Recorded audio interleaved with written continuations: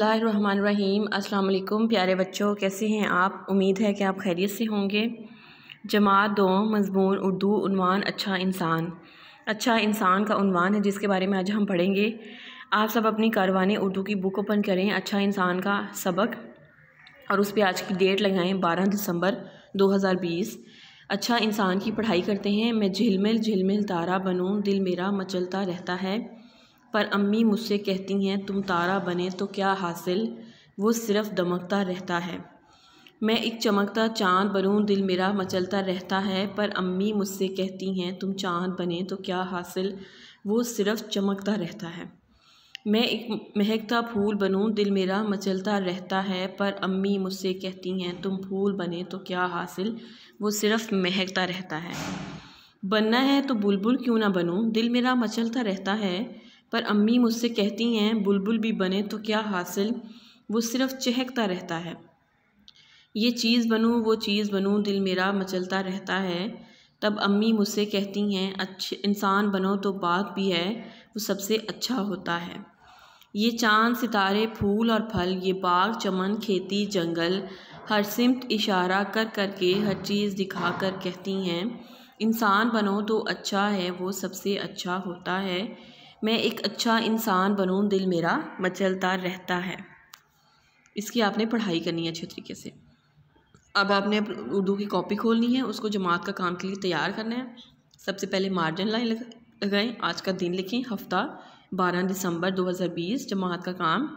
उनवान अच्छा इंसान, सफ़ा सिक्सटी एट, सवालात के जवाब लिखिए। सवाल नंबर एक, बच्चा सबसे पहले क्या बनना चाहता था? झिलमिल तारा बनना चाहता था। बच्चे की अम्मी ने उसे क्या बनने के लिए कहा? अच्छा इंसान। आप बड़े होकर क्या बनना चाहते हैं? इसका जवाब मैंने नहीं लिखा। ये आप पर है कि आप क्या बनना चाहते हैं? आप डॉक्टर बनना चाहते हैं, इंजीनियर बनना चाहते हैं, फ़ौजी बनना चाहते हैं, जो भी आप बनना चाहते हैं वो आप यहाँ पे लिख देंगे। ना अब हम अच्छा इंसान की मशक को हल करेंगे। उर्दू की बुक खोलें और इसकी मशक को हल करते हैं ना। खाली जगह, जगहों में पहेली का नाम बूझ कर लिखिए। ये दमकता रहता है तारा, जैसे मिसाल है। ये चहकता रहता है बुलबुल, महकता रहता है फूल, चमकता रहता है सूरज, चाँद। ये टैं करता है तोता, ये काएँ काएँ करता है कौआ लफ्ज़ों की रेलगाड़ी बनाइए। पहले लफ्ज़ के आखिरी हरूफ से शुरू होने वाला, वाले लफ्ज़ और इस तरह से रेलगाड़ी मुकम्मल करते जाइए। पहले जो आपने लफ्ज़ लिखना है, उसका जो एंड वाला हरूफ है लास्ट वाला हरूफ जो है, उससे अगला लफ्ज़ शुरू करके लिखना है और इस तरह रेलगाड़ी मुकम्मल कर देनी है। चाँद चाँद का एंड वाला लफ्ज़ क्या है? दाल है। दाल से लफ्ज़ शुरू किया, दाल एंड पे लाम आया, लाम से शुरू किया लाल, फिर लाम आया लड्डू, फिर वाओ आया वादा, हे आ गया हाथी, ये आ गया यक्का, हे आ गया हिरन, नून आ गया नारियल, लाम आ गया लूमड़ी और ये आ गया यो यो ये इस तरह से हमारी रेलगाड़ी ख़त्म हो गई।